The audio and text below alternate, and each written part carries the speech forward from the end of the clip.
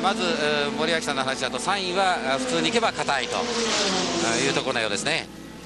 214周目に入っておりますワークスポルシェ、えー1分24秒台23秒台というところで、えーコンスタントに走っておりまして、えー藤田さん普通ですとこう気温がずいぶん下がってきましたんでね、そうですね、えーもう無理をしてない感じですか、かなりもうポジション決まってしまったんでね。え流してるっていう感じはしますね今の状態では。ーはい、この車はよりんのあ片山の先ほどのはい。あー松田の 84G ですね放送席石井さん、はい。ただですけれど、ええ。ー今、画面でご覧いただいていると思うんですけれどもね、はい。あのエグゾーストパイプのところのかなり加熱したところにオイルが漏れて、ええ。そこから煙が出ていたんだと思うんですが、先ほどあのオイルの量をチェックしたり、量をチェックしたりしてるんですが、はい。どうもどこから漏れてるか、まだはっきり原因がつかめてないようですね。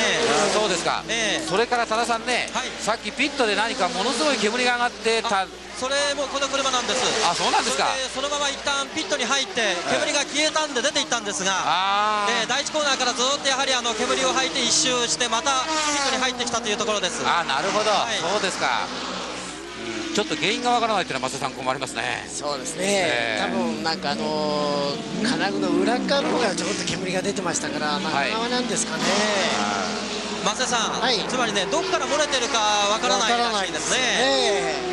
ええ一番困ったもんですね、はい。そうですね。このまま出るわけにはいかないでしょうし、そうですね。煙幕の状態になりますからね、えもう今までのターボを見た限りでは多分あのオイルシールが壊れてるんじゃないかなっていう気がしますね。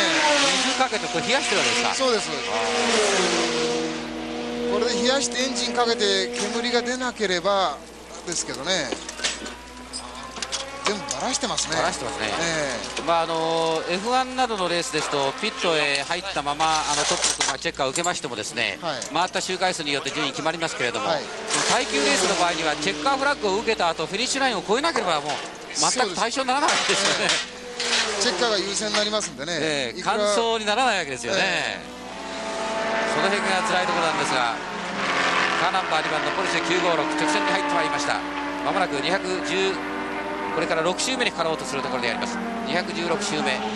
だいぶ後ろとおそらく40数秒ぐらい離れてるんじゃないかという感じがするんですが。放送席石井さん、はいえーちょっと前にあの情報が入ったんですけれども、ええ。え2番の車がですね、ええ。あの高回転のところで少しだけなんですけどミスファイアしてるらしいんですよねエンジンが。あそうですか、えーであのまあ、心配されてるラップタイムなんですけれども、はい。えー今、ワトソンが乗ってます、はい。あペドフは降りてますけれども25秒20さっきは26秒でしたから、そうですね、えーそれで今、あの1番の方が、えージャッキー・イックスが乗ってますけれども、はい。えーさっきからマイナスサインが出てます。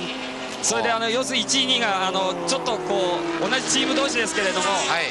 えーちょっと緊迫してきてる感じがするんですけれども、そうですね。あの、はい。コンピューターのここのタイムでもですねカーナンバー2番が1分25秒99、それから先ほどのあのイクスは22秒台で走ってましたね。あーそれであのさっきの2番のピットインでですね、はい。ややはりあのオイルも足してるんですよね。はい。えーですからそのミスファイアがまあもうゴール間近ですから、えーこのままいけばということなんでしょうけれども、あのガソリンの方は大丈夫そうなんですか？えーガソリンの方はあのー先ほど森脇さんの説明もありましたけれども、速くて燃費もいいんで、ええ。ーまだ、えー燃料の残量はあのー38リッターぐらいあるそうです。じゃあ6回目入らなくて済むということですね。えーはいそうです。現在そうですね。2番と1番は38秒6の差だそうです。38秒6これでいくと2秒ずつ詰めると面白くなりますね。そうですね、え本当に、えーこれがカーナンバー2番トップを行きます。ロスマンズ・ポルシェ、えー現在ドライバーがジョン・ワトソンということです。片方はジャッキー・イークス。ともにこの2番目に乗ったドライバーが走ってますね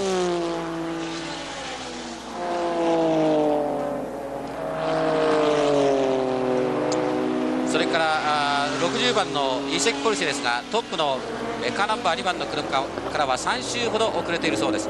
3周ほど遅れているそうですがその後ろがまた1周以上離れているということで、えー、大体60番のイセキの、えポルシェは第3位が大体安泰だということだそうですが、えー注目の今度は C2 の方に目を移しますとカーナンバー84番依然としてベーンベーの M1C が C2 のトップを切っております。えーその後ろに C1 のトヨタ。ワコールトヨタが続いておりまして8位9位にカーナンバー83番これも C2 なんですがタクマツダ 83C の車が走っております。この辺り C2 カーがマスさんずいぶん検討しますね。そうですね、え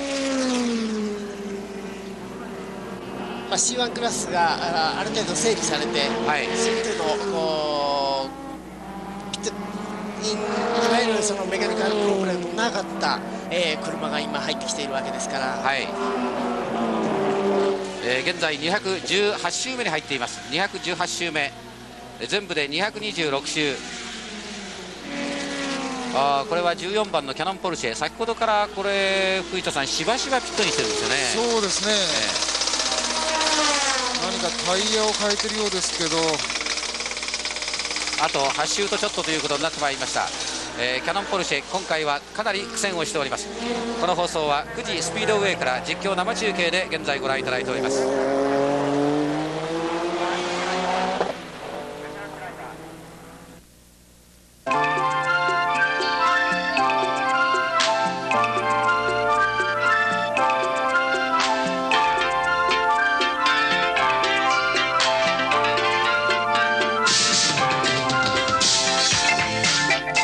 だけではない。カメラもアートになった。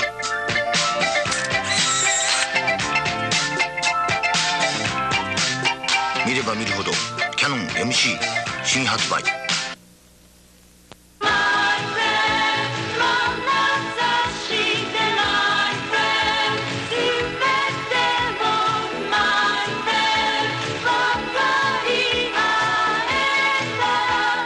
二人とも大好きだよ。同じくらい。ごめんね。チューしましょう。みんなでね。麦焼酎。いいとも。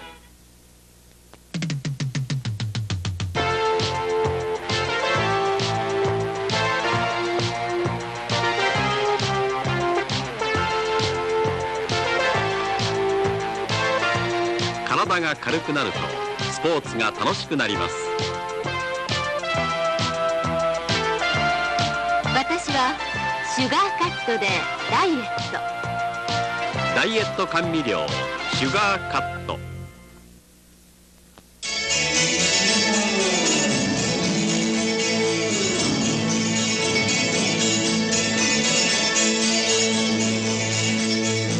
詩人はサーキットに300馬力の熱帯魚を見た。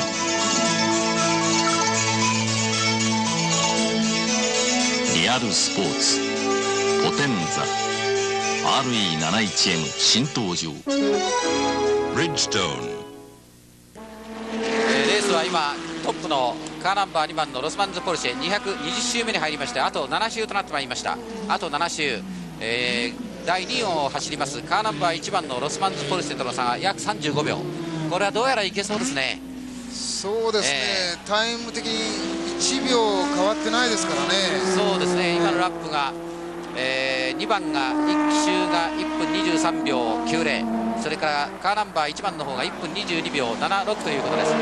あ約1秒です、ね、1秒ちょっとですね、えー周回数めるのはちょっとそうですねこの周回数からいくとちょっと無理みたいですね、はい、石井さん、はい。えー、14番のキャノンポルシェですけれど。も、はい、右の前の車軸ですね、ああ。えー、ここのトラブルで今あのアップライトなんても用意してもう分解始めましたからちょっとこれは時間がかかりますね。あこれはチェッカー受けられないかもしれない、えー、はい、現在あの6位ドライバー乗ったままですけれども、えー、6位なんですよ現在ね、えーえー、3位がカーナンバー60番の移籍ポルシェ第4位がカーナンバー7番ヨーストポルシェそれから5位がカーナンバー10番のイタリアポルシェそして14番この車が6位なわけなんですが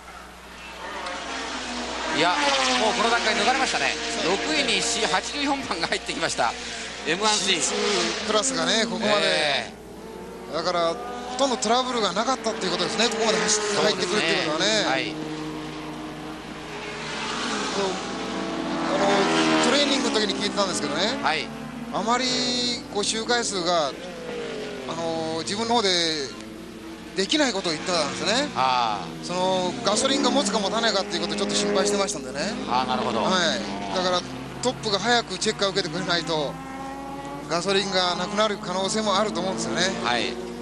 67番のローラ T616 松田がピットインしました、えー、この車が今年のル・マンのクラス優勝を遂げた車でありますが、えー、ピットインいたしまして給油を行います、えー、今回はこのあまり振るっておりませんでしかし総合この車11位に入ってますね。68番の同じ形の車ですが68番のローラが10位。やはり着実に上がやはり潰れると上がってきます。